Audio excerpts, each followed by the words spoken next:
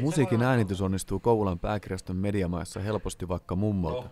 Orvokki Pesu perheinen kävi äänittämässä poikansa tekemän kappaleen Kerhon räppi. Ja maanantai aamu taas sarastaato. Perjantai. Eihän se pitänyt lähteä siitä.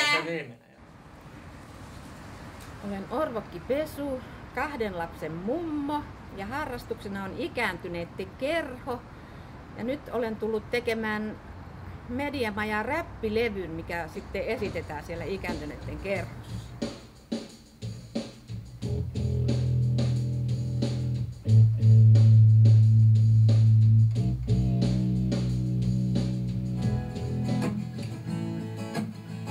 Mediamaan henkilökunta opastaa äänityksessä, musiikin editoinnissa ja muussa studiotyöskentelyssä. Mediamaissa ovat instrumentit ja ohjelmat valmiina. Varaa aika puhelimitse tai paikan päältä maksuttomaan studioon.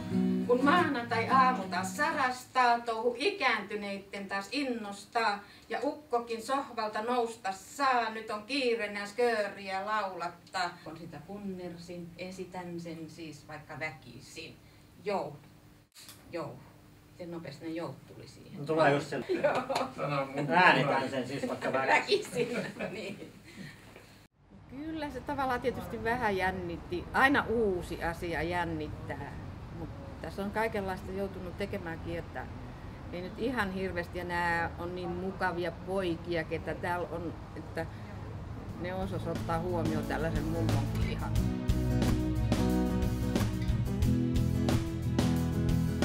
Kun maanantai aamu taas sarastaa, touhut ikääntyneitten taas innostaa. Ja ukkokin sohvalta nousta saa, nyt on kiire nää skööriä laulattaa. Voihan nenä, jos auto ei käynnisty, turhan ei kerhon esitystä ole tehty.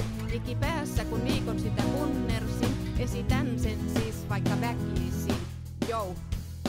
Oh.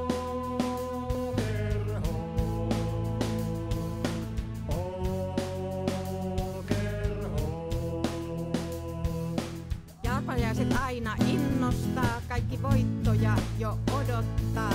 Se autoko on vai laulaako mampa? No käyhän tääkin. Osuuspankin mainoskampa. Jou!